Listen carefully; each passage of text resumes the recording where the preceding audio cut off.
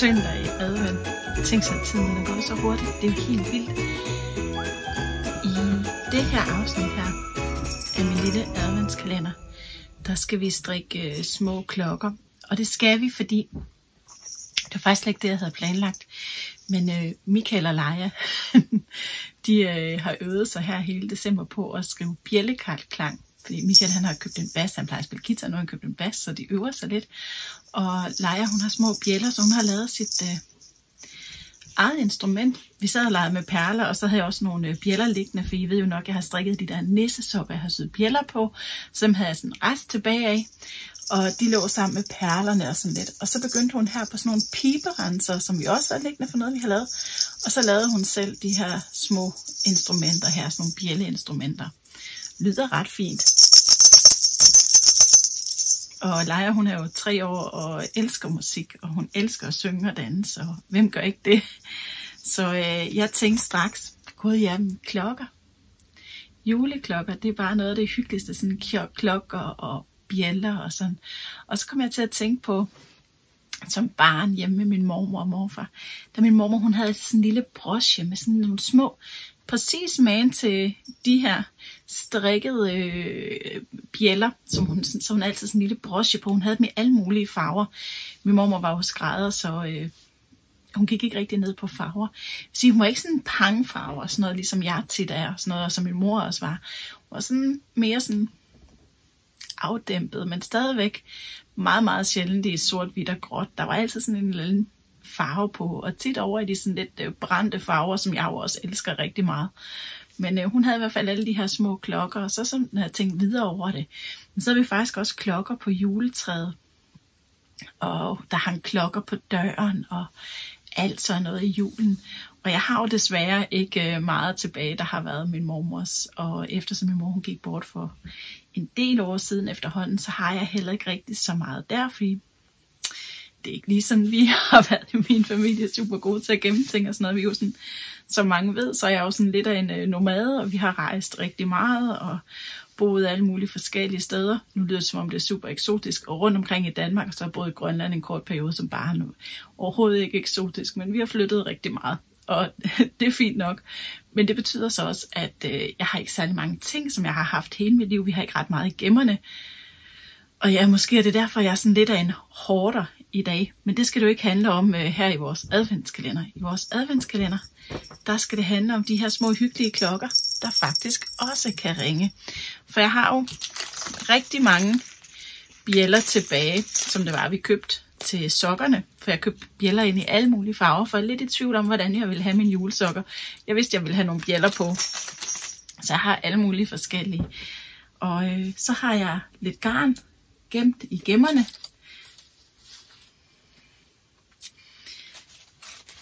Jeg øh, modtog sådan en øh, garnpakke fra Langgarn, så derfor kan man vel godt kalde det reklame. øh, det gør jeg hvert år, når de får, eller hver sæson, når der, er, der ligesom kommer nyt garn, så får jeg sådan en prøvekasse med garn, og det gør jeg for rigtig mange garnfirmaer. Men jeg har været lidt for Langgarn i dag, fordi det var så rigtig fint i farven. Og det hedder Angelina fra Lang. Og øh, det er sådan et øh, 60% silke og 40% øh, almindelig uld, altså ren ny uld. Og øh, det er et garn, der løber 150 meter på 50 gram. Og det er sådan børstet lidt op og ret lækkert i det. Og øh, jeg vil jo rigtig gerne strikke en sweater i det her, men jeg ved jo også, at når jeg bestiller garn til en sweater, så vil det aldrig nogensinde have samme indfarvning som den, jeg har i garnnøgler. Så de garnnøgler, jeg får på den her måde, dem kan jeg jo godt lide at bruge til sådan nogle små resteprojekter. Og så har jeg et nøglepeja her fra, øh, hvad hedder det, fra Filgolana, som jeg har tilbage for et design, jeg har lavet for dem. Der er ret meget tilbage. Øh, jeg har lavet sådan en, øh, hvad hedder det, en patentstrikket øh, sweater i deres, øh, hvad hedder det, Stilia Silkemo her. Og så øh, den her strikket sammen. Og det er jo det, jeg har strikket sammen til klokken her. Jeg har strikket de her to sammen, og jeg har strikket på pind 3,5. Det du skal gøre, det er faktisk bare, at du skal finde garn og pinde, der passer sammen og det må ikke være for løst, det du strikker. Det må hellere være lidt for fast, end det må være for løst. Men der er ikke som sådan nogen strikkefasthed her. Øh, og det har jo lidt været øh, det store tema her hele vejen igennem. Det er bare strik sådan, så det ser fint ud. Ikke? Vi, skal ikke, øh, vi skal ikke kede os med strikkefastheder her i december. Det, det er december for kort til. Og øh, så skal du så selvfølgelig bruge de her strikkepinde. Jeg har valgt at strikke Magic Loop, og jeg viser, hvordan jeg strikker den her klokke. For jeg starter med først lige at slå op, og så strikke rundt et par omgange. Så vender jeg vrangen ud og strikker den anden vej, og så skal vi have nogle indtagninger, og så skal jeg syde klokken i og alt det der. Og øh, ja, tynd garn giver små klokker, tynd garn, tynd pinde. Og tyk garn, tyk pinde giver lidt store klokker. Og det her det er jo på pind 3,5, og den er så stor her. Og det, jeg har en forestilling om, at jeg skal have sådan en 5-6 stykker på juletræet. Og det kan godt være, at de ikke alle sammen bliver i det her garn, men det er nu tanken lige nu. Jeg er enormt vild med den her farve her. Hvis du lige tænker, hvad er det for en farve? Så er det her jo øh, farve 995, tror jeg det hedder. Jeg er lidt i tvivl om, hvordan Langarn skriver deres farver. Jeg skal nok skrive hele den her nedenunder videoen, sådan, så du har den. Så men øh, ja, vildt lækker garn, det vil jeg altså sige. Øh, jeg er nok nødt til at eje en sweater i det. Det er sådan lidt kæleagtigt. Nu vender jeg kameraet om. Øh, jeg har slået masker op, og jeg har strikket tre omgange. Og jeg har slået 24 masker op. Så, og alle, øh, hvad hedder, du kan hente hele opskriften med bare at følge linket her under videoen. Det må du ikke glemme. Godt. Jeg har strikket tre omgange glat her, og jeg strikker rundt, og jeg strikker med Magic Loop. Men du kan også sagtens strikke på strømpepind, hvis du vil det. Det jeg gør nu, det er, at jeg vender vrangsiden ud. Sådan der. Og så skal jeg jo til at strikke tilbage igen. Samme vej, som jeg kom fra. Og lige nu, der har jeg jo både min øh, korte ende, der hænger her, som jeg lige skal have herind. Sådan, så den hænger hernede, så jeg ikke kommer til at strikke med den. Og så har jeg mit øh, garn her. Det jeg lige skal, for at undgå, at der kommer hul, det er at bytte om på første og sidste maske, og det gør jeg, når jeg strikker Magic Loop, ved at tage første maske af pinden, få den helt ned på wiren her, sådan der, det har jeg her. Og så når jeg kommer ned på wiren her, hvor den hænger, min første maske, og det gør ikke noget, den bliver løs, det gør ikke noget, så henter jeg den her, der var sidste maske før. Den ligger her. Den tager jeg fat i med min strikkepind, og så kører jeg det hele op igen på ejeren. Syp, syp, syp. Så det er sådan lidt af en manøvren frem og tilbage. Og det tager lige et lille øjeblik, det her første her. Men det gør ikke noget. Vi har masser af tid. Vi strikker. Og se, jeg har stadigvæk... Det her, det var den, der før var første maske. Herover på den her pind. Det er den, der hænger her. Og det her, det var den, der var sidste maske over på den her pind. De har ligesom byttet plads nu. De er krydset hen over hinanden. Sådan der. Og det var altså for at undgå at der kommer hul her ved omgangen start. Godt. Så er jeg ellers bare klar til at strikke, den første maske, den vil virke underlig. Det bliver ikke at se. Sådan der. Og så strikker jeg rundt og rundt og rundt og rundt. Og jeg skal faktisk bare strikke øh, 15 omgange glat strik. Så det er jo simpelthen så nemt og så hyggeligt. Så kan man sidde og se en god julefilm imens. Det her det er rigtig julefilmstrik. Jeg tænkte lige, at øh, jeg vil inkludere lidt her, fordi der er flere, der har spurgt i forhold til det her med den bæredygtige jul, øh, i forhold til det her øh, julepynt og julestads, som jeg har valgt at strikke med jer i øh, det her års øh, adventskalender. Om jeg nogensinde øh, køber noget på genbrug for at travle det op og bruge det igen. Jeg har ikke lige gjort. Øh, jeg har faktisk lige købt en bluse på genbrug, som jeg har klippet og lavet vanter af, og det kan du se, hvis du går over på kanalen. Så du se, øh, der har jeg lavet vanter med, med nogle børn. Men her, der har jeg faktisk haft strikket noget. I kan se, der har været vendepinde på her, som der så ikke lige helt blev til noget alligevel. Øh, det er ikke altid, jeg smider sådan nogle prøver ud. Så lader jeg dem bare ligge, og så strikker jeg for dem. Så jeg strikker faktisk for dem, inden at da, at jeg går i gang med noget andet jeg kunne godt have, have vasket og vundet op og spændt op og alt sådan noget der. Og det havde jeg nok gjort, hvis det havde været en sweater, der havde været brugt for eksempel. Så vil jeg, øh, hvad hedder det, travle hele sweateren op, og jeg vil ikke vinde den op som et nøgle. Jeg vil øh, vinde den ud på to stolerygge, sådan i sådan et haspe, ligesom når man køber for eksempel håndfarvet garn. Og så vil jeg sætte en masse, hvad hedder det, snor på. Altså jeg vil binde med cirka 10 cm mellemrum hele vejen rundt. Igen, ligesom på sådan et håndspundet garn.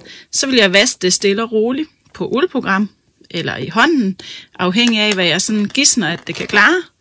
Og så vil jeg lade det hænge og tørre, og så vil jeg efterfølgende vikle det op og strikke, fra, strikke af det. Det vil jeg gøre, hvis det var, at jeg valgte at genbruge noget garn fra en sweater, uanset om sweateren var købt på genbrug, eller det bare var en gammel en, jeg ikke kunne bruge mere. Og jeg vil også opleve, at nogle steder, der er garnet måske lidt slidt, hvis det har været ved albuerne og sådan noget, det vil jeg klippe fra, og ikke øh, bruge. Altså sådan der, hvor det er, garnet er alt for slidt, der vil jeg ikke bruge det. Tit så vil du også opleve, for eksempel hvis det er sådan en gammel islænder sweater, du skal travle op, at øh, det næsten ikke vil travle op. Og hvis det ikke vil det, jamen, så kan det være en god idé lige at smide det i fryseren i en times tid eller to. Øh, så er det nogle gange lidt lettere at travle op. Altså bare hele sweateren i en plastikpose og ind i fryseren med den. Så er det nogle gange lidt lettere at travle op. Det er det trick, som de fleste af os også kender fra mor her, når man skal travle det op. For det kan også være lidt af en pine at sidde og travle op. Så jeg er jo stadigvæk øh, ved at strikke her. Jeg er ude på min, øh, ja, jeg ved det ikke engang hvilken omgang, men jeg tror, jeg er ved at være tæt på at have 15 omgange. Så på at tælle. Sådan der. Jeg tæller hernede fra 1, 2, 3, 4, 5, 6, 7, 8, 9, og så 10 med den på pinden. Så jeg mangler altså lige 5 omgange nu, inden jeg skal i gang med min indtagning og se lige, hvor fint det bliver. Jeg er altså lidt vild med det her glimmer her. Sådan der. Så har jeg fået øh, strikket min øh, 15 omgange, og så deler jeg lige. Jeg har jo 24 masker rundt, og når jeg strikker Magic Loop, så har jeg jo fordelsen til, at jeg har 12 og 12. Måske strikker du på tre strømpepinde, og så har du 6, 6, 12. Måske strikker du på fire strømpepinde og har 4, 4, 4. Så skal du ikke gøre noget. Men hvis du for eksempel som mig har Magic Loop, og ikke gider at sidde og tælle hele tiden, fordi du er i gang med en fantastisk julefilm, så se bare her. Så tæller jeg 2, 4, 6 masker og så sætter jeg en markør. Sådan der. Og så tæller jeg herom 2, 4, 6 masker, og så rykker jeg lige lidt ned her på wiren, for ellers kan jeg ikke få den på. Sådan der. Og 2, 4, 5. Har jeg måske talt forkert? Jeg sætter en markør her, og så mangler jeg måske en maske. Det spiller ingen rolle. Det er bare en juleklokke. Sådan der. Godt så får vi det at se her. Så skal vi nemlig i gang med vores indtagninger. Og nu skal der tages ind på hver omgang, til der er otte masker tilbage på omgangen. Og det gør du simpelthen ved at strikke til to masker før markøren her. Altså det er fire. Du kan hente de skrevne noter, dem kan du hente ved at følge linket under videoen. Sådan der. Og så laver jeg en indtagning. Flytter min markør strikker til der er to masker tilbage på den her pind. 3, 4, prøv at se. 2, 3, 4. Her der er min øh, maske, der er for meget. Den har simpelthen snedet sig herop, så den skal jeg lige have ned bagefter. Fundet. Jeg havde bare ikke fået fordelt maskerne lidt, da jeg slog op. Og den er svær at strikke sammen, den her. Hov.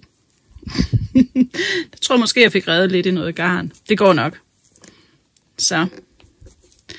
Og så siger vi bare, jeg har, øh, er ved at lære øh, nogle søde børn i 4. klasse om pytknappen. Kender du den? Pytknappen. Alt bliver godt igen, og pytknappen, de er meget gode at huske på nogle gange. Sådan der. Så skal jeg lige have flyttet min markør her jo.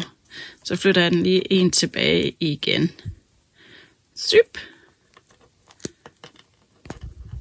Sådan der. Godt. Og så er jeg klar til at strikke igen. Og jeg tager jo ind på hver evig eneste omgang på den her måde til at have fire masker tilbage. Du kan også øh, strikke drejet ret sammen, hvis du nu heller vil det. Bare du husker at gøre det samme hele tiden, så er det så fint. Sådan der. To, tre, fire. To ret sammen. Syp. 1, 2, 3, 4 og to ret sammen. Det er simpelthen øh, de sidste masker her i enden. De er simpelthen så svære at strikke sammen nogle gange. Sådan der, så vender jeg. Og jeg er ude noget garnkylling her, kan I se. Sådan der. Og så er jeg klar igen. Jeg viser bare lige øh, en pind mere med indtagning. Ikke en hel omgang, bare en pind. Og så øh, viser jeg, hvad jeg gør, når jeg har alle mine indtagninger bagefter. 1, 2, 3. Se, nu var det kun 3. Og så bliver hele tiden en maske mindre, man skal strikke her. Og så er det to ret sammen. Flyt markøren. 1, 2 og 3. Der var lige en lille knude på gangen. To ret sammen, så må jeg se, om jeg kan gøre det lidt bedre den her gang end sidst herover. Det virker stadigvæk som om, at det er lidt noget rodet, den her maske herover. Jeg ser lige engang, hvad der er sket. Prøv at se, det er jo fordi, det her glimmergarn her, nogle gange, så kommer man ikke igennem det hele. Prøv at se her, der hænger noget her, der ikke er kommet med over før. Og det kan være lidt træls. Man kan godt få lyst til bare at lade det hænge. Det skal man for guds skyld lade, lade være med. Og bare lige slippe det. Det er en god idé lige at få det trukket over, fordi det er jo noget af en maske, der hænger her. Syp. Sådan der. Godt. Sådan. Og så kan jeg sige to ret sammen. Sådan der. Og sådan fortsætter du bare med at strikke rundt og rundt og rundt, til du har fire masker her på den ene pind, og fire masker på den anden, altså otte i alt. Tada! Jeg vandt øh, garnkylling lige på et hængende hår. Det er godt, der ikke skal rip på det her. Hvad hedder det? Jeg taber ellers rigtig til de garnkylling. Altså der, hvor man tror, man har garn nok tilbage, og det har man ikke. Jeg har brudt garnet. I virkeligheden, så skriver jeg, at man bør lade enden være så lang, at man også kan lave hank af den. Men det kan jeg ikke, så jeg laver bare en hank og sætter på bagefter. Så syr jeg gennem de åbne masker her. Jeg har trådet en nål. Drip med garnet. Og jeg syr jo selvfølgelig rundt i strikkeretningen, sådan så at øh, garnet det kommer herom bagfra af, fordi ellers så vil det jo travle op her, når jeg syr igennem den første maske. Syp. Øh, dem, der har strikket sokker i gamle dage, de kan huske det sådan, man lukkede tåen af, eller hvis man har strikket huer, der skulle lukkes af, ved at bare lige at sy igennem de øverste masker. Så det er det her, der menes med lige at sy igennem. Sådan der. Væk med markøren. Og hvis der er nogen, der tænker, hvad er det for nogle lækre røde hjerter, der ligger dernede, Charlotte, hvad er det, du har i din kop? Så har jeg øh, af Mette fra min medlemsklub, der har jeg fået chokoladeknapper og dejlig te, så det er jo bare så lækkert. Jeg vil lige bruge lejligheden til endnu en gang at sige tusind tak med det. Jeg har taget en lang tråd garn, og nu skal jeg lave min hank. Og på samme måde som før, så sætter jeg lige garnet til ved lige at hæfte enden lidt her. Den her gang her, der hæfter jeg den lidt bedre, end jeg hæftede min anden ende. Så jeg hæfter lige ned en gang sådan der, og så kører jeg lige sådan to-tre masker tilbage. Sådan der. Og det er jo sådan lidt her, hvor der er indtagninger, så altså det kan være lidt svært. Skal jeg passe på her, det der hænger her, der skal blive til min øh, bjælle bagefter, som den skal hænge i. Det skal jeg ikke have hæftet med, og jeg vil helst ikke have, at min guldtråd den løber helt vildt. Sådan der. Godt. Nu tror jeg, vi er der. Jeg tror, jeg fik trukket min guldtråd ud her. Jo, jeg gør det lige om. Men det er sådan her, du skal gøre. Du skal lige hæfte et par gange tilbage her. Så fik jeg guldtråden med. Og så går jeg ind her og syr igennem hullet. Tag fat i nålen og huen med pege og lange fingre, fordi så kan jeg nemlig lige vende retsiden ud. Sådan der. Og så er jeg jo ellers klar til at lave min hank. Så nu syr jeg ind igennem en tråd her. Og så skal jeg bestemme mig for, hvor lang min hank den skal være. Sådan der. Jeg kan godt lide, at de er sådan, så man kan få dem på øh, grenen på træet men ikke sådan, så de er så lange, så de hænger helt vildt. Så syr jeg lige tilbage ud herover i den tråd eller lykke, hvor den anden tråd den kommer ud ved. Sådan der. Den her hank her, den kan man enten hækle, eller man kan gøre, som jeg gør her, hvor jeg syr øh, en række knaphulsting. og knaphulstingene, det er jo dem, jeg foretrækker frem for at hækle, fordi jeg ikke er super vild med at hækle. Sådan der. Og, men det kan godt være lidt øh, vanskeligt at få det pænt med glimmergarnet. Det her det er tråden, jeg skal sy omkring, så der syr jeg ind under, og så syr jeg til, indtil jeg har sådan ligesom bare en lille lykke tilbage. Så syr jeg igennem lykken og trækker til. Og sådan bliver jeg bare ved.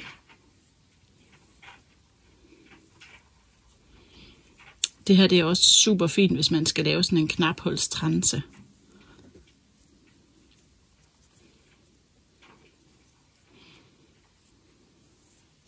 Jeg går ikke super højt op i, om alle hankene på mine klokker er lige lange.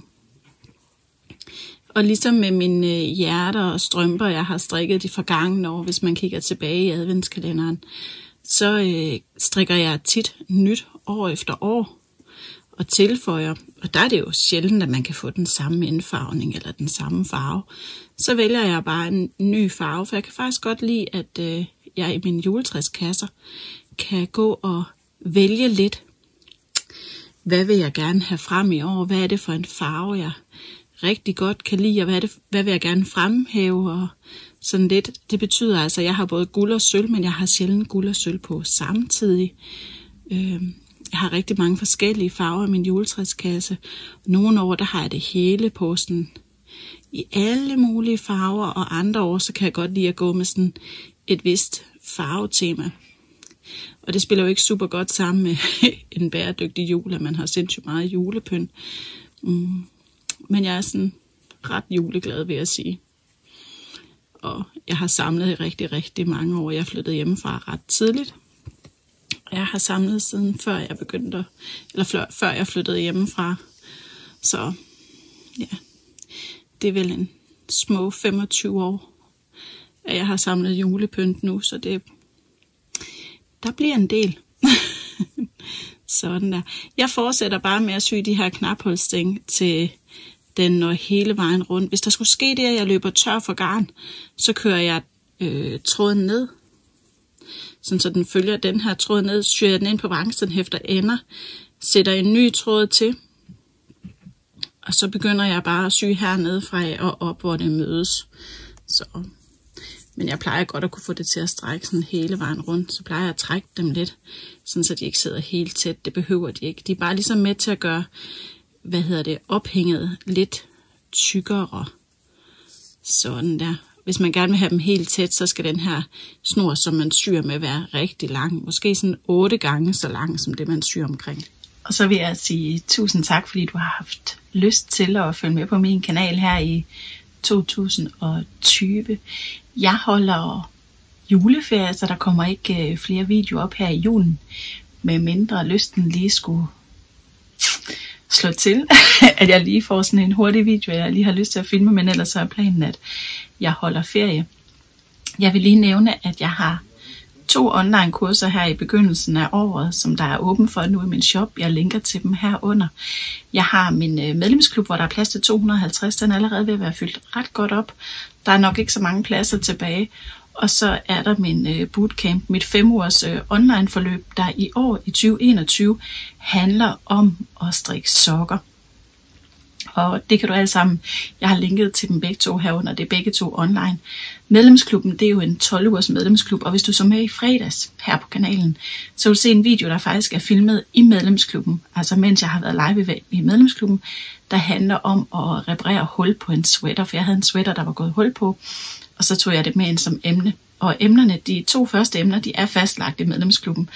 Det ene, det er noget med at sådan ligesom bytte garn ud og tilpasse en opskrift, så den passer til garnet, og måske også, hvis man lige har brug for at have den lidt større end det, som opskriften foreskriver. Hvad er det så, man kan gøre for ligesom at ændre det?